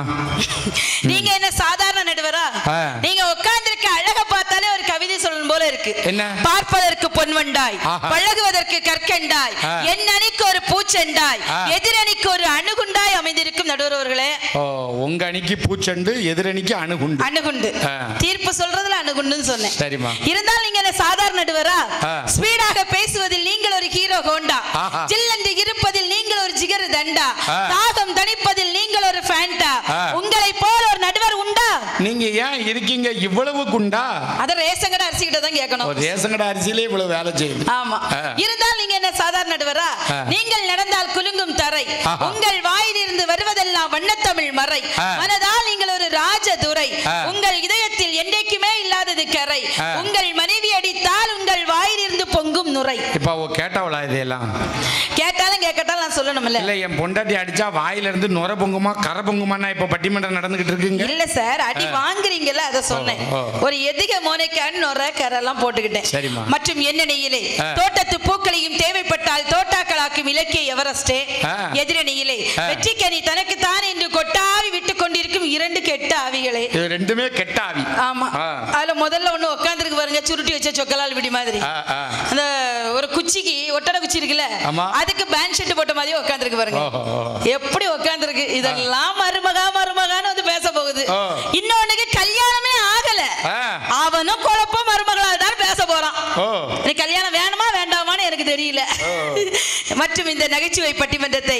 கண்டு கேட்டு கைதட்டி ரசித்துக் கொண்டிருக்கும் ரசிக பெருமக்களை உங்கள் அனைவருக்கும் இந்த சின்னவளின் சிறப்பான வணக்கங்கள். அடே அப்பா எவ்வளவு பெரிய இமாலய பொய் பாருங்க? சின்னவளா. குட்டி பிள்ளை என்னமா நீ எல்கேஜி பேபி ஆமா சார். நீங்க சொன்னாலும் சொல்லட்டாலும் நான் சின்ன பிள்ளைதான். சித்ரா ஆ? அப்ப இந்த இடத்துல ஒரு தொட்டில் கட்டி ஆ. இந்த குட்டி பிள்ளைய அதுல தூக்கி போட்டு தாளாட்டுவோமா? நீங்க ஏன் தாளாட்டானு என் வீட்டுக்காரர் எனக்கு தொட்டில் கட்டி போட்டிருக்காரு. ஓ, வீட்டுக்கு நல்ல மூங்கில் கம்புல போட்டிருக்காரு. அதுலதான் நான் கீழே விழ மாட்டேன். ஆ. நல்ல சங்கிலி போட்டு. அழகா மூங்கில் கூட ஒண்ணு அழகா போட்டிருக்காரு. பெரிய சங்கிலியா போடணும் இந்த யானைக்கு அவர் போய் திறந்து கொண்டு வந்திருக்காரு. ஆமா ஏன்னா எனக்காகவே அத்து விழுந்துரும் பொத்துன்னு. ஆமா. ஆ. ஆனா இன்னைக்கு அருமையான தலைப்பு ஆ. குடும்பத்தின் குழப்பத்திற்கு பெரிதும் காரணமாக இருப்பது மாமியாரா அல்லது மருமகளா ஆமா. இல்லையா. அவங்க ரெண்டு பேரும் மருமகளை குறை சொல்ல வந்திருக்காங்க. நான் ஒண்ணே ஒண்ணு கேக்குறேங்க.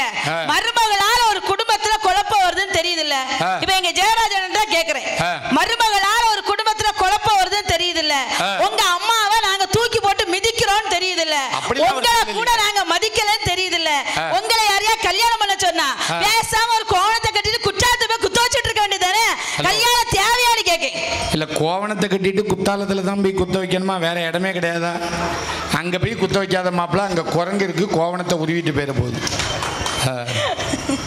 நடுவர் அவர்களே. உண்மையிலே மருமகா வந்தாதான் ஒரு ஆண்மகனுடைய வாழ்க்கை வெற்றிகரமாக இருக்குங்க. உண்மையிலே காதல் வரணும் கல்யாணத்துக்கு முன்னாடி. இப்ப எங்க மாஸ்மதன் இருக்கான் பாருங்க. அவனுக்கெல்லாம் ஒரு பொண்ணு லைன்ல வந்தனால தான். பையன் மேக்கப்ப பாருங்கக்கா. நாங்க ரெண்டு லேடிஸ் இருக்கோம் எங்களை விட ஆயிருக்கு இப்ப மருமகளை பத்தி குறை சொல்றானுல்ல ரெண்டு பேரும். ஆமா. ஆனா ஒரு பிள்ளைய பார்த்தா இவனு ரெண்டு பேரும் சும்மா இருக்கானா? இந்த பயல்களுக்கு பொதுவாகவே பதினெட்டு வயசு ஆயிட்டுனா உதட்டுல நாலு மீச முடி எட்டி பார்க்கும். கன்னத்துல ரெண்டு பரு எட்டி பார்க்கும். உடனே பக்கத்து விட்டு அவன் எட்டி பார்ப்பான். பக்கத்து வீட்டு பிள்ளைகிட்ட போய் கண்ணே எலிசா உன் காலில் என்ன கொலுசா மனம் உருகுது ஐசா ஓடி போக மாட்டி நைசா அப்படிமா அந்த பிள்ளை கேட்கும் உன் கையில் இருக்கால பைசா அப்படிங்கும் இப்போ இந்த போய் ஓடி போயிடுவான் ஆ, இவன் வந்து மருமகளை பற்றி குறை பேசிட்டான் நடுவர் அவர்களே. இதாவது பரவாயில்லைங்க. இன்னைக்கு நான் திருநெல்வேலி பஸ் ஸ்டாண்ட்ல நின்றுட்டு இருக்கேன். ஒரு பையன் ஒரு பொண்ணு பின்னால போய்கிட்டே இருக்கான். அந்த பொண்ணு. என் பின்னால வராத. என் பின்னால வராத அப்படின்னா. ஏன் டி. என் பின்னால எங்க அக்கா வந்துகிட்டு இருக்கால. நீ கவலையே படாத ஆ. உங்க அக்கா பின்னாடி எங்க அண்ணன் வந்துகிட்டு இருக்காங்க. அவன் குடும்பத்தோட லவ் பண்ணிக்கிட்டு இருக்காங்க. அந்த பையன் இப்ப அந்த பொண்ணை பார்த்து என்ன பாடிட்டு இருக்கான் தெரியுமா தாடி என்ன உடம்பு. அங்கங்க பச்சை நரம்பு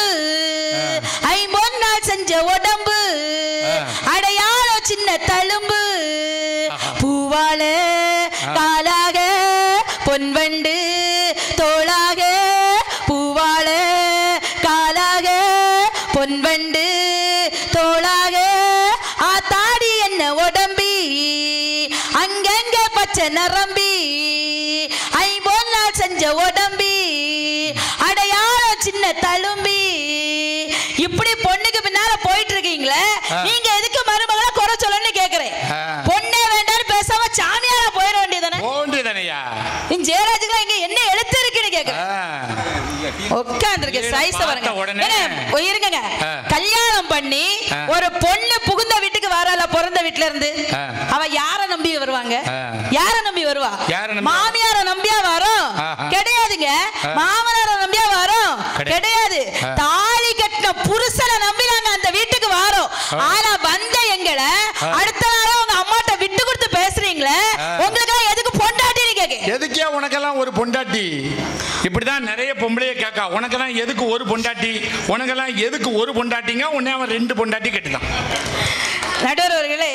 அதுலயே மாமியார் ஏன்னா நீங்க இதுக்கெல்லாம் ஒன்றும் கை தட்டப்படாது இப்படிதான் எங்க ஊர்ல ஒரு அண்ணன்ட்ட கேட்டேன் ஆ. என்ன நீங்க ரெண்டு பொண்டாட்டி கட்டிட்டு எவ்வளவு சந்தோஷமா இருக்கீங்க எப்படின்னு கேட்டேன். அவர் என்ன சொன்னார் தெரியுமா. ரெண்டு பொண்டாட்டி கட்டிட்டு சந்தோஷமா இருக்கேன்லாம் கேட்க கூடாதுமா. இந்த செல்போன்ல ரூபாய் ஒரு செல்போனு. மிஞ்சி போனா பதினையாயிரம் ரூபாய் செல்போனுக்கே ரெண்டு சிம் கார்டு இருக்கும்போது.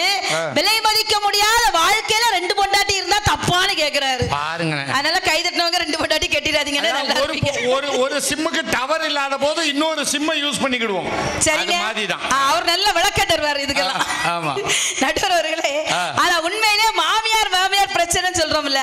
உண்மையிலே எனக்கெல்லாம் என் மாமியாரோட பிரச்சனைங்க நீ வந்த உடனே அந்த அம்மா போய் சேர்ந்துட்ட பிற எப்படி பிரச்சனை இருக்கும் போய் எல்லாம் ஒண்ணும் சேரல. போன வருஷம் தான் போய் சேர்ந்திருக்கு.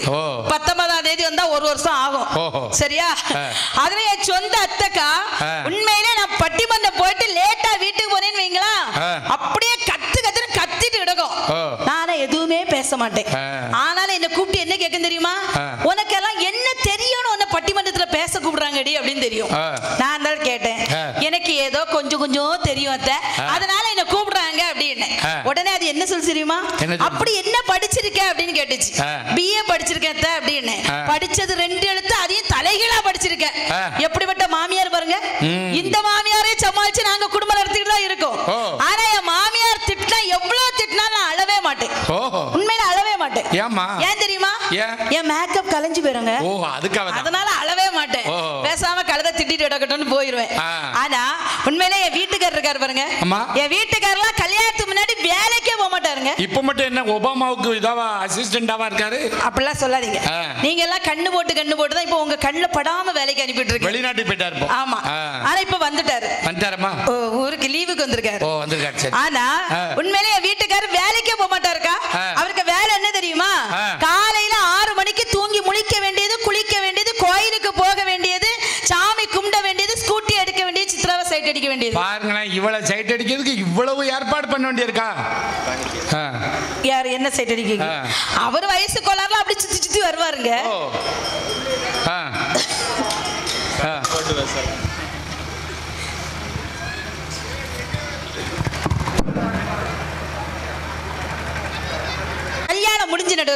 ஆ கல்யாணம் முடிஞ்ச பிறகு. என் வீட்டுக்காரரை நான் பொறுப்புள்ள ஒரு ஆண்மகனா மாத்தி வச்சிருக்கேன் அப்படியாம்மா எப்படி தெரியுமா எப்படி? ஒரு ஆப்பிள் எடுத்து.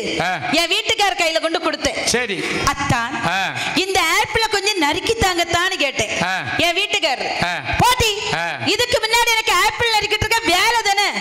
நான் விடலையே விடலையே நான் இருக்குங்க தான் நான் இருக்குங்க போறிய ஆப்பிள் தூக்கி வெளியே போட்டான்னாரு. அப்பவும் நான் விடல விடல அன்னைக்கு ஆப்பிள் நறுக்க ஆரம்பிச்சவர் தான்.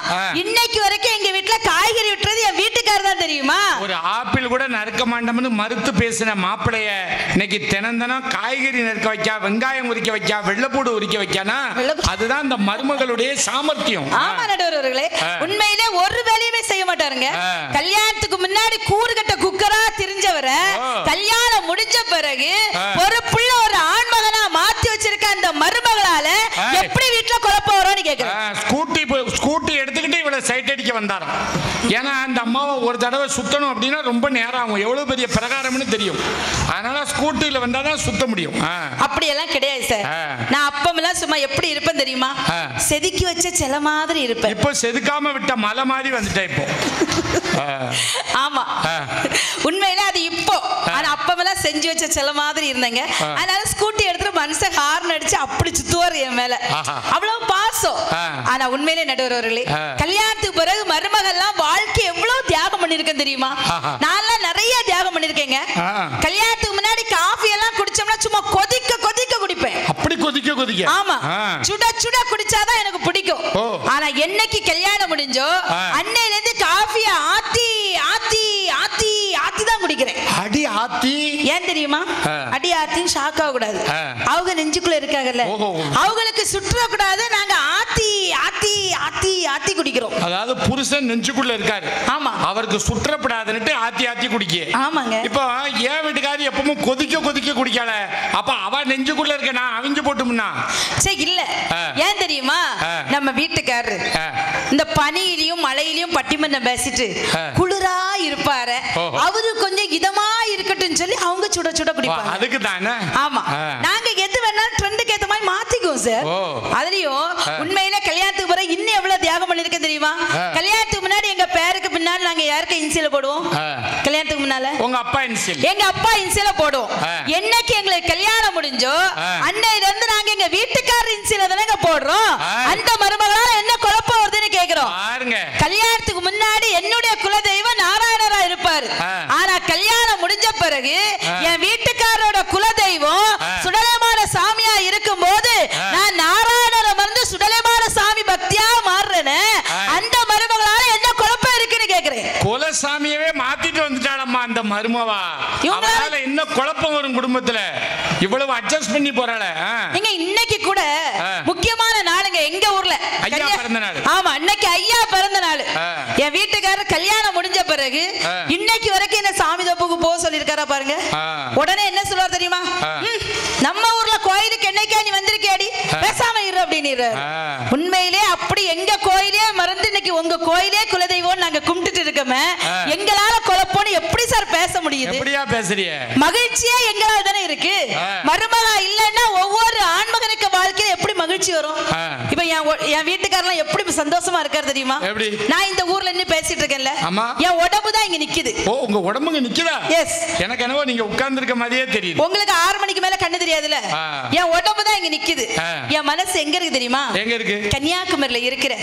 என் வீட்டுக்காரரை சுத்தி சுத்தி சுத்தி சுத்தி வந்துகிட்டு இருக்கு. அது ஏமா சுத்தி சுத்தி வருது? அட்ரஸ் தொலைஞ்சு போச்சோ? சரி இல்லைங்க.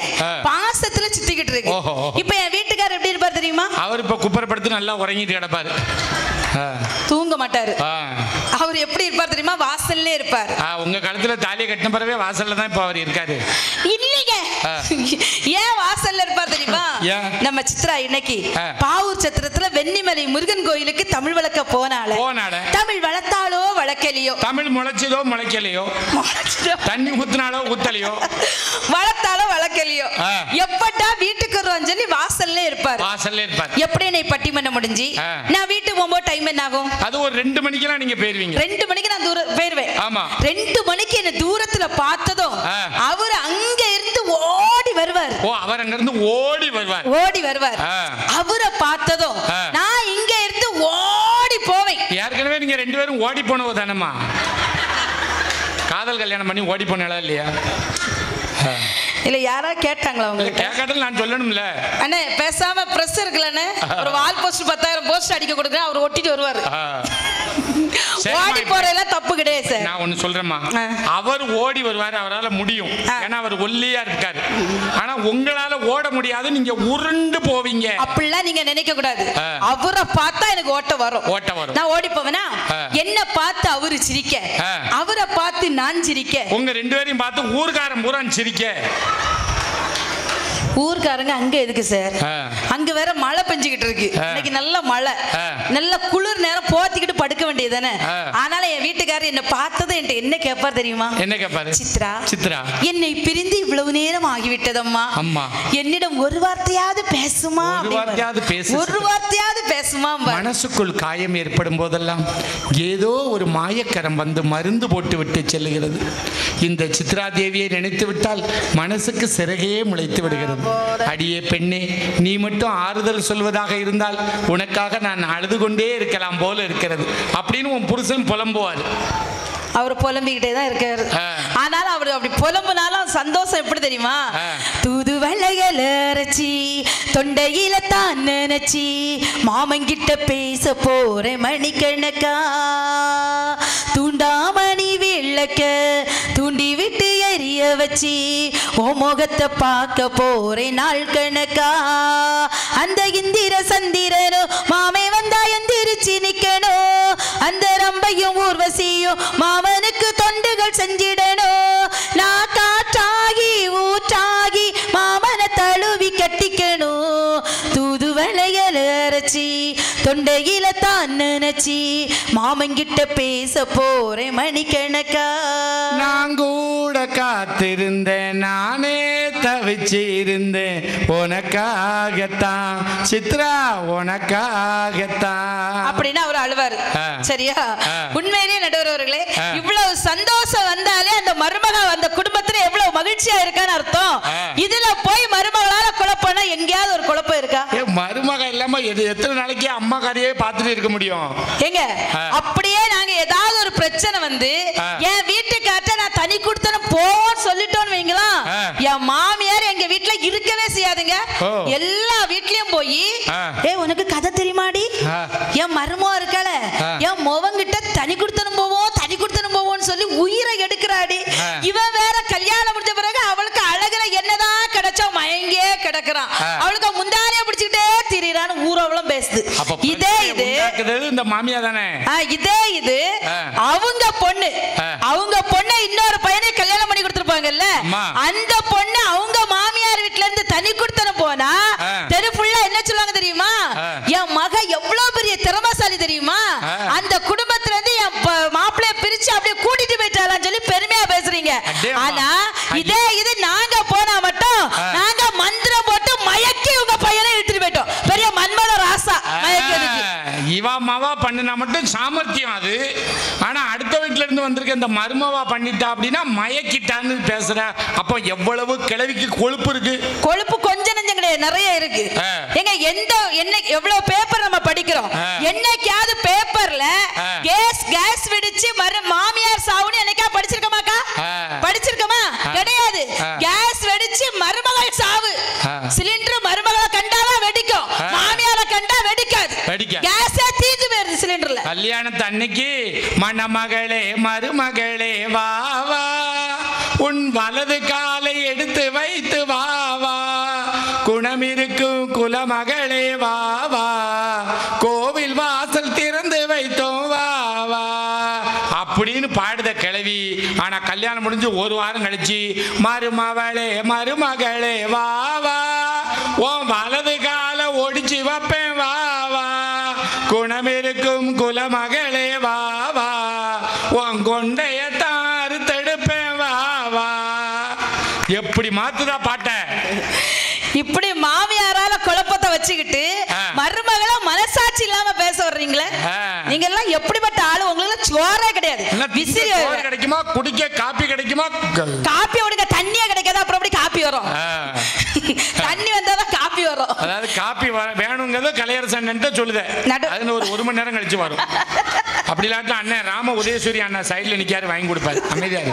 ஆ, பேசு. அதான் உண்மையிலே நீங்க சிறப்பா நடுவர். இப்படிதான் போன வாரம் திருப்பூருக்கு இந்த இடத்துல நான் ஒரு செய்தி சொல்றேன். அருமையாக நம்முடைய மயூரி டிவி எங்க அருமை அண்ணன் திருவாளர் ஆறுமுகனினார் தான் அதோட ஓனர்.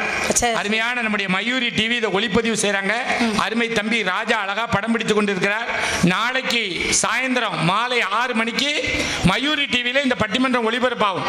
அதுக்காக அப்போ ரைட்டு நாங்கள் அங்கேயே பார்த்துக்கிட்டோம்னு கிளம்பிடாதீங்க. இங்கேயும் பாருங்க அங்கேயும் போய் பார்க்கணும் நீங்கள் அது மாதிரி யூடியூப்லேயும் இதை வந்து அவங்க ஏற்றிடுவாங்க நீங்கள் யூடியூப்லேயும் நம்ம வெண்ணிமலை முருகன் கோவில் நம்முடைய ஐந்தாம் திருநாள் பட்டங்கட்டியார் சமுதாயத்தைச் சேர்ந்த மக்களுடைய பட்டிமன்றம்னு தட்டினேன்னா வரும் பார்க்கலாம். ஆ. முடிஞ்சிருச்சா முடிஞ்சிச்சுமா ஆ. முடிஞ்சிருச்சு. நடுவர் அவர்களே. ஆனா உண்மையிலேயே மாமியாரால எவ்வளவு பிரச்சனை இருக்கு தெரியுமா. நான்லாம் கல்யாணம் முடிஞ்ச உடனே என் மாமியார்ட்ட ஒரே ஒரு கண்டிஷன் போட்டிருக்கேன் என்னம்மா என்ன தெரியுமா. இப்ப நான் எங்கேயாவது டூர் போறேன். ஷாப்பிங் போறேன்னு வச்சுக்கோங்களேன். ஷாப்பிங் போகும்போது. என் மாமியார்ட்ட சொல்லியிருக்கேன். அத்தை. நான் எங்கேயாவது ஷாப்பிங் போனாலோ. டூர் போனாலோ. நீங்க என் பிள்ளைய பத்திரமா பாத்துக்கணும். நான் உங்க பிள்ளைய பத்திரமா பாத்துக்குவேன்னு ஒரு கண்டிஷன் ஏ பாருங்கப்பா எவ்வளவு பெரிய சாமர்த்தியசாலியா இருக்கா பாருங்க சித்ரா. இவா புள்ள போல கிடந்துக்கிட்டு ஒண்ணுக்கு ரெண்டுக்கு போய்கிட்டு கிடக்கு. கிளவி கழுவி விட்டுட்டு கிடக்கணுமா? ஆனா அந்த கிளவியோட மகன் இவ புருஷன். அவ பிள்ளை இவ பத்திரமா பாத்துக்கிடாங்க இவ என்னத்த பத்திரமா பார்க்க? ஏங்க. அவர் தான் உங்களையும் சேர்ந்து பத்திரமா பாப்பாரம்மா ஆமாங்க. அததான் என் மாமியார்ட்ட கொஞ்சம் நாசுக்கா சொல்லிட்டு கூட்டு போறது. அதாவது ஆனா உண்மையிலே பிள்ளைய நான் பாத்துக்கிறது என் பிள்ளைய நீங்க பாத்துக்கோங்க. ஆனா உண்மையிலே மாமியாருக்கு விட எவ்வளவு பிரச்சனை வந்தாலும். என்னைக்காவது எந்த மருமகளாவது. தன்னுடைய மாமியார கொலை பண்ணணும்னு கூட நினைச்சது கிடையாதுங்க அவ்வளவு நினைப்பேடா நீங்க இல்ல நினைச்சது கிடையாதுன்னு சொல்றேன். இப்ப எனக்கு என் அத்தைக்கு சண்டை வருது இல்ல. அதுக்காக. வாங்கத்த நம்ம ரெண்டு பேரை குளத்துக்கு குளிக்க போவோம் சொல்லி. குளத்துக்கு கூட்டிட்டு போய். குளத்துக்கு முக்கிய வச்சா இருக்கும் இவ்வளவு கிடையாது உள்ளதான் கிடக்கல அப்புறம் என்ன இல்லங்க இருங்க. வாங்கத்த நம்ம ரெண்டு பேரும் மார்க்கெட்டுக்கு போவோம் சொல்லி. மினி பஸ்ல தள்ளி விட்டா கொஞ்சம் இருக்கும் கிடையாதுங்க பாருங்க ஐடியா நம்பர் டூ வாங்கத்த நம்ம ரெண்டு பேரும் கிணத்துக்கு தண்ணி எடுக்க போவோம் சொல்லி. கிணத்துக்கு உள்ள எட்டி பாருங்க. மாமா உள்ள இருந்து கூப்பிட்டாருன்னு சொல்லி கிணத்துக்குள்ள தள்ளி விட்டா இருக்கும் இது ஐடியா நம்பர் த்ரீ கிடையாது. வாங்க தண்ணிக்கு உங்க பேரனுக்கு பிறந்த நாள். பால் பாயாசம் வச்சிருக்கேன்னு சொல்லி. பாயாசத்துல பாயசம் கலந்தாங்க கொடுத்தேன் இது ஐடியா நம்பர் ஃபோர் எங்க வாங்க நம்ம வீட்டு பாத்ரூம்ல வந்து குளிங்கன்னு சொல்லி பாத்ரூம்ல வலிக்கு வந்து சாவட்டுன்னு சொல்லி சோப்பா ஒன்னும் போதுமா நல்லா இருக்க ஊரை கெடுத்துறாத என்ன மாமியா உயிரை கையில பிடிச்சிட்டு இருப்பா அன்னைக்கு ஒரு பாதவத்தி வந்தா அந்த சித்ரான்னு ஒருத்தி கொல்லதுக்கு ஐடியா கொடுத்துட்டு போயிருக்கான்னு இனிமே அவ்வளவு பேரும் கிடையாது. நீங்கி போய் உட்கார்ந்துருக்காங்கம்மா எத்தனை ஐடியா இருந்தாலும். என்னைக்கா நாங்க அப்படி நினைச்சிருக்கோமா. கிடையாதுங்க நாங்க என்ன நினைக்கிறது தெரியுமா மாமியார்ங்கிறது எங்க அம்மா மாதிரிங்க. அது திட்டுனாலும் எங்க அம்மா திட்டின மாதிரி நாங்க எடுத்துக்கிறோம் என்னைக்காவது ஆ. தனக்கு வந்திருக்க மருமகா. நம்ம மகள மாதிரி தான் ஒரு பொண்ணுன்னு சொல்லி. நீங்க எங்க மகளா ஏத்திருக்கீங்களா. கிடையாது இல்ல இருக்கீங்களாமா மாமியாளுக்கு வரக்கூடிய அந்த மருமகள் வந்து மருமகள் அவ இன்னொரு மகள் ஆ. நடுவர் அவர்களே ஆ. நான்லாம் தண்ணி அடிச்சிட்டு மேல போவேங்க தண்ணி அடிப்பியா பொம்பளை தண்ணி அடிக்கலாமா அப்படி சாக்காவே கேட்காதீங்க. எல்லாரும் என்ன பத்தி என்ன நினைப்பாங்க. தண்ணின்னா அந்த தண்ணி இல்லக்கா. குடிக்கிறதுக்காக குடத்துல தண்ணி பிடிச்சிட்டு. குடத்தை தூக்கி இடுப்புல வச்சுக்கிட்டு. மாடிப்படி ஏறி மேல போவேன் ஓஹோ நான் ஒரு நாள் மாடிப்படி ஏறி மேல போறேன் என் வீட்டுக்காரர் மேல இருந்து கீழே வர்றாரு. ஓ இந்த அம்மா மேல போகுது அவர் கீழே வராரு அவர் கீழே வர்றாரு. எங்க படிக்கட்டுல ஒரு சின்ன வளைவு இருக்குங்க. ஒரு டேனிங் இருக்கு. ஆமா. அந்த வளைவுல நான் குடத்தை கொண்டு அப்படி லேசா டேன் பாருங்க. குடம் லைட்டா என் வீட்டுக்காரர் நெஞ்சில இடிச்சிட்டு நல்ல வேளை நெஞ்சில் இடிச்சுது நெஞ்சில இடிச்சிட்டா. இடிச்சதா அம்மானு கத்துனார். ஏன் தான் என்ன ஆச்சு அப்படின்னு கேட்டேன். ஏண்டிய நெஞ்சில அடிச்ச. ஏண்டிய நெஞ்சில அடிச்ச அப்படின்னாரு. ஏன் தான் ரொம்ப வலிக்குதா தான் அப்படின்னு கேட்டேன். எங்க வேணாலும் இடி. ஆனா நெஞ்சில மட்டும் இடிக்காதேன்னாரு ஆ. இவ்- எவ்வளவு மகிழ்ச்சியா இருக்கார் மனுஷன் இவ்வளவு தண்டி உருவம் எப்படிமா அதுக்குள்ள இருக்குது? ஹலோ. உங்களுக்கான இதயத்துக்குள்ள. இருக்கும் சார். ஏன் தெரியுமா. இவ்வளவு தண்டி உருவம். அந்த இம்புடுகான இதயத்துக்குள்ள இருக்கிறனால தான். அங்க ஒரு ஈ எறும்பு கூட நுழைய முடியாம முட்டிக்கிட்டு முட்டிக்கிட்டு வருது. சகோதரிகளே கேட்டுக்கோங்க. நீங்க எல்லாம் உங்க புருஷன் இதயத்துக்குள்ள போய் இம்புடு போல கூட கேப் இல்லாம அடைச்சுக்கிட்டு உட்கார்ந்துக்கிடுங்க. அப்பதான் வேற எவ்வளவு உள்ள போக மாட்டான் இதுக்கே சாக்காகுறீங்களே. ஆனா உண்மையில கல்யாணத்துக்கு முன்னாடி எங்க அம்மா எல்லாம் இந்த மேடைக்கு அனுப்பும்போது எப்படி அனுப்புவாங்க தெரியுமா. தள தளன்னு பட்டு சேலை கட்டி. அப்ப எனக்கு முடிங்க வந்து லாங் ஹேர் ஒரு லாங்கர் நீளமா இருக்கும் நீளமான முடி. அப்ப தலை நிறைய பூ வச்சு எவ்வளவு நீளம் இருக்கும் அந்த முடி ஒரு நாலு அடி இருக்கும் சார் நீங்களே மூன்றரை அடி தான் இருக்கியா அது எப்படி நாலரை அடி இருக்கும் சரி ஒரு நாலு அடி வச்சுக்கோங்க அப்பா அவ்வளவு அடி இருந்திருக்கு இப்ப லேசா பெயிண்ட் அடிக்க பிரஸ் மாதிரி கொஞ்சோண்டு தான் இருக்கு இப்போ. ஹலோ. இப்போ வந்து ஓ. அப்படி ஷார்ட் ஆகிக்கிட்டு கட் பண்ணி விட்டீங்க ஆமா. ஆனா அப்படி தலை நிறைய பூ வச்சு. மேடைக்கு அனுப்பும் போது ஒரு மணப்பெண்ண மேடையில அலங்கரிச்சு வச்சா எப்படி இருக்கும். அப்படி அனுப்புவாங்க. கல்யாணம் முடிஞ்ச பிறகு. என் வீட்டுக்காரர் எனக்கு இன்னைக்கு வரைக்கும். ஒரு நூறு பூ கூட வாங்கி தந்தவர் கிடையாதுக்கா கஞ்சப்பை அவன் எங்கம்மா வாங்கி கொடுப்பான் கஞ்ச பையன் சொல்லாதீங்க. நானும் என் வீட்டுக்கார்ட்ட அவன் வடிச்ச கஞ்ச விட்டு பிழைக்கான்னாச்சு அவன் எங்க பூ வாங்கி கொடுப்பான்? கையில வாட்ச் போட்டிருக்கான் ஆனா மணி பார்க்க மாட்டான். அடுத்தவன் வாட்சில் தான் மணி கேட்பான். செருப்பு வாங்கி வச்சிருக்கான் ஆனா தூக்கிக்கிட்டே நடப்பான் காலில் போட்டு நடக்க மாட்டான். அப்படிப்பட்ட கஞ்சன் எப்படி பூ வாங்கி கொடுப்பான் உனக்கு? ஹலோ. என் வீட்டுக்காரர் நீங்க எல்லாம் பேசக்கூடாது. நான் எவ்வளவு நாள் பேசுவேன். எவ்வளவு நாள் தூக்கி போட்டு மிதிப்பேன் அடிப்பேன் ஏன்னா அது என்னோட ப்ராப்பர்ட்டிங்க ஓ, உங்க property. நீங்க எல்லாம் பேசக்கூடாது சரியா நீங்க தான் மிதிப்பேலை தவிர அடுத்தவளோ அடுத்தவனோ மிதிக்க மிதிக்க கூடாது. ஆமா. ஏன்னா ஏன் சொத்து. சரியா. நடுவர் ஆனா இவ சொத்து ஆனா எப்பவும் வைப்பாங்க குத்து.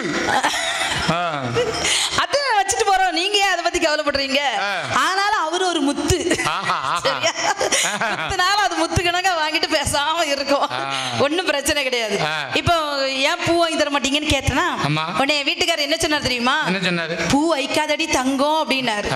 ஏன் தான் அப்படின்னு கேட்டேன். அந்த பூல உள்ள காம்பு இருக்குல்ல காம்பு. அந்த காம்பு ஒன்னு குத்தும் போது எனக்கு வலிக்க முடியும் அப்படின்னாருங்க. இப்ப எனக்கும் வலிக்கு சித்ரா. இல்ல இவ்வளவு பெரிய பொய் சொன்னா எனக்கு வலிக்குமா வலிக்காதா? இத்தினோண்டு காம்பு குத்துனா உங்களுக்கு தாங்கிக்கிட மாட்டாங்களா இவோ சார். இதை யாராவது நீங்க நம்புவீங்களாமா அது என்ன இந்த போல ஏய், பூவுக்கு இவ்வளவு ஷாக் ஆகுறீங்க. இதாவது பரவாயில்லைங்க நாகர்கோவில்ல இருந்து நான் திருநெல்வேலி வந்தேன்னு வைங்களா ஆமா. திருநெல்வேலியில எங்க அண்ணன் ஒரு அண்ணன் சொல்லுவாரு இந்த ஜிப்பா போட்டு இருப்பான? ஆமா. அந்த அண்ணன் சொல்லுவாரு. சித்ரா. உன் மூக்குல சின்னதா ஒரு மூக்குத்தி போட்டீங்கன்னா. அப்படியே குமரி பகவதி அம்மன் மாதிரி இருப்பேன்னு சொல்லுவாரு ஆ. நானும் என் வீட்டுக்கார்ட்ட போய் கேட்டேன் ஆ. அத்தான் எனக்கு சின்னதா ஒரு மூக்குத்தி செய்தாங்க தான் அப்படின்னு கேட்டேன். என் வீட்டுக்காரர் என்ன சொன்னார் தெரியுமா என்ன சொன்னாரு மூக்கு குத்தாதம்மா. உனக்கு குத்துனா எனக்கு மூச்சே நின்று வேறமான்ட்டாரு மனுஷன் ஒரு கிராம் தங்கம் நாலாயிரம் ரூபாய்க்கு மேல விக்குது என்னத்த மூக்குத்தி வாங்கி கொடுக்கன்னு சொல்லி சப்ப கட்டு கட்டு தான் வேற ஒண்ணும் கிடையாது. அது தெரியாம நீ ஏமாந்துட்டாலே இல்ல சார் பாருங்க சார். இது ஒண்ணும் இல்ல. இன்னும் பாருங்களேன். இப்ப நல்ல மழை பெய்யுதுன்னு வைங்களேன். மழையில நான் நினைஞ்சா அவருக்கு ஜலதோஷம் பிடிக்குங்க. எனக்கு காய்ச்சல் வந்து அவரு இன்ஜெக்ஷன் போடுவாரு.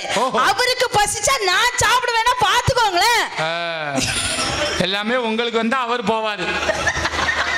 இல்ல உங்களுக்கு ஏதாவது ஒரு உடம்பு சரியில்லைன்னா அவர் ஆஸ்பத்திரிக்கு போவாருமா? உங்களை கூட்டிட்டு போவாருன்னு சொல்ல வந்தேன். ஆ, தப்பு தப்பா புரிஞ்சுக்கிட்டா நான் என்ன செய்ய முடியும். உண்மையிலேங்க. இவ்வளவு சந்தோஷமா இருக்குன்னா அங்க மருமகா இல்லாம சந்தோஷமா இருக்க முடியுமா. மருமகா வந்தாதான் ஆண்களுக்கே மகிழ்ச்சி மகிழ்ச்சி நடுவர் அவர்களே ஆ. ஆனா தாயால வந்து ஒரு குழந்தைய எத்தனை வயசு வரைக்கும் ஒழுங்கா வளர்க்க முடியும். ஒரு இருபத்தஞ்சு வயசு வரைக்கும். அதுக்கு பிறகு அந்த பிள்ளைய உங்களால ஒழுங்கா வளர்க்க முடியுதா? முடியுமா? முடியலைங்க உங்களால முடியாம தானே ஒரு பொண்ணை பார்த்து கல்யாணம் பண்ணி அந்த பொண்ணுக்கு தலையில கட்டி வைக்கிறீங்க. அந்த தரதலைய நாங்க கட்டிக்கிட்டு நாங்க படக்கூடிய பாடு இருக்கு. அவரை திருத்தி கொண்டு வர்றதுக்கு ஒவ்வொரு மருமகளும் வாழ்க்கையில ஓஞ்சி பெறுவா நடுவர்களே ஒழுங்கா ஒரு தலையில எண்ணெய் தேய்க்க மாட்டான் தலை வர மாட்டான் மூஞ்ச கழுவ மாட்டான் பவுடர் போட மாட்டான் பல்லு தேய்க்க மாட்டான். அந்த பயலுக்கு பல்லு தேய்க்க சொல்லி கொடுத்து அவனை தலையிழுக்க சொல்லி கொடுத்து சட்டையில பட்டன் போட சொல்லி கொடுத்து எல்லாம் பண்ணி அவனை ஆளாக்குறது நீங்க தானம்மா. நாங்க வந்த பிறகுதானே அவர் ஒரு மனுஷனாவே நடமாடுறாருங்க மனுஷனாவே ஆவான் இதாவது பரவாயில்ல.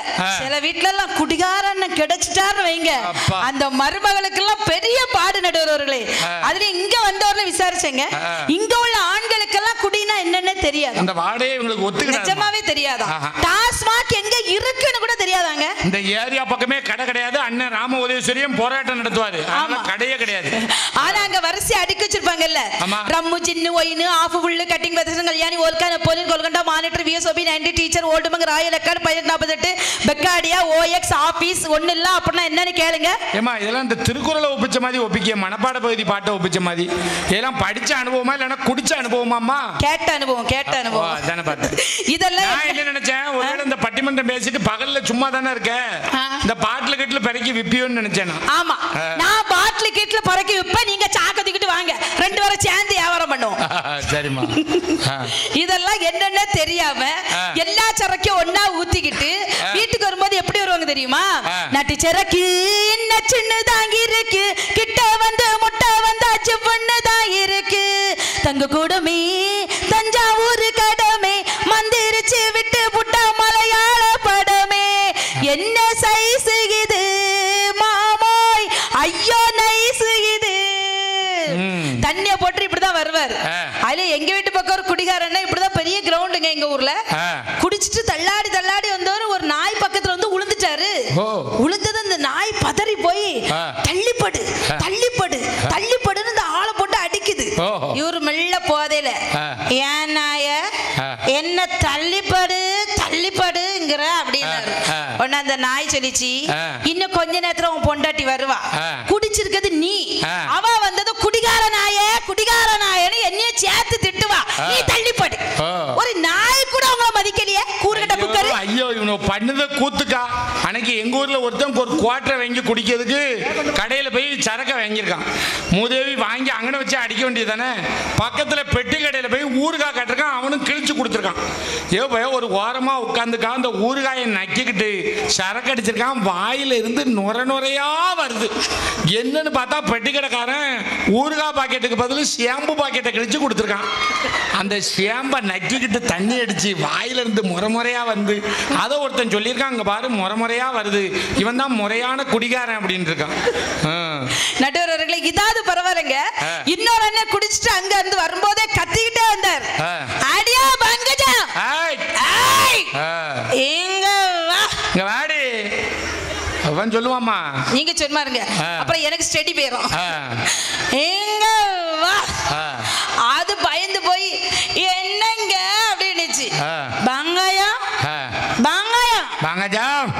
காதுக்கு ஆ. ரெண்டு மூக்குத்தி எடுக்கணும் ஆ. உன் மூக்குக்கு ஆ. ரெண்டு கம்மல் எடுக்கணும் ஆ. கழுத்துக்கு ஒரு கொலுசு எடுக்கணும். காலுக்கு ரெண்டு நெக்லஸ் எடுக்கணும். பேசிக்கிட்டே இருந்தவர் திடீர்னு வாந்தி எடுத்துட்டாரு ஐயோ என்னங்க பேசிக்கிட்டே இருந்தாலும் வாந்தி எடுத்துட்டீங்க. இந்த நாளும் நான் பிளான் பண்ணுனடி. இது மட்டும் பிளான் பண்ணாம வந்துட்டுன்னாரு ஆ. இதாவது பரவாயில்ல ஆ. இன்னொரு நாள் குடிச்சிட்டு மனுஷன் என்ன பண்ணார் தெரியுமா. தொபக்கடின்னு அக்கா காலில் போய் விழுந்துட்டாரு. இந்த அக்கா பதறி போய் என்னங்க காலில் விழுந்துட்டீங்கன்னு சொல்லி கணவன் அப்படியே தூக்கி விட்டாங்கக்கா. ஒரு அஞ்சு நிமிஷம் கழிச்சு. அக்காளுக்கு காலை பார்த்தா காலில் கிடந்த கொலுச காணல. மனுஷன் அடுத்த ரவுண்டுக்கு எடுத்துட்டு போயிட்டாரியா. இப்படிப்பட்ட புள்ளைய பத்த வச்சுக்கிட்டு உங்களுக்கு வாய் வேற. மோவன. சுத்தியில ஏதாவது விடுவேன் எனக்கு. இப்படி இப்படிப்பட்டவனெல்லாம் வச்சு குடும்பம் நடத்துறதுக்கு இந்த பொண்ணு வந்தா தானே முடியும். ஆனா தண்ணி அடிச்சுட்டு போய் சாக்கடைக்கு விழுந்து கிடக்காம அவனை. போய் வா தூக்கிட்டு வருவான். அம்மகாரி என்ன சொல்லுவா? ஏய் ஏறு உன் புருஷன் தண்ணி அடிச்சுட்டு கிடக்கான். ஏதோ அவ பிள்ளைன்னு சொல்ல மாட்டா. நல்லா இருந்தா என் மவனுக்கு தான் கணமான்னு பீத்துவா. ஆனா தண்ணி அடிச்சுட்டு குப்பரை கிடந்தவன ஏன் சித்ரா உன் புருஷன் அங்க தண்ணி அந்த தண்ணி அடிச்சுட்டு சாக்கடைக்குள்ள கிடக்கான். அப்படின்னு சொல்லிட்டு அவ போயிருவா கிளவி.